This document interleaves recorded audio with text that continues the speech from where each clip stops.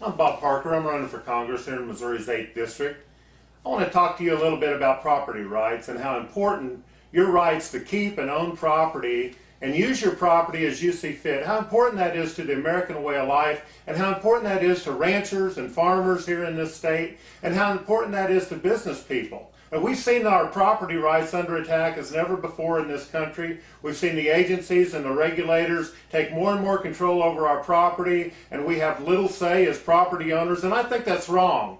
I want you to know that I want to fight for your rights to keep and own your property and control your property. I want to stand up against this, this uh, government that's taking over so many areas of our lives. I want to be a strong voice to defend your property rights here in this state. Thank you.